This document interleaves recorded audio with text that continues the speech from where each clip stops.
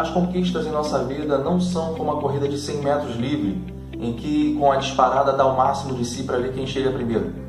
As conquistas em nossa vida são como a maratona, devagar e sempre, em que todos correm com o objetivo de chegar, mesmo que seja em último. A maioria sabe que não vai chegar primeiro, e isso não importa, porque o maior desafio é chegar. Cruzar a linha de chegada é o desejo de todos que entram em uma maratona. O caminho é maior, a jornada é mais longa, mas todos que chegam ao final têm a satisfação de dizer: Eu sou um vencedor. Devagar e sempre, você chega lá.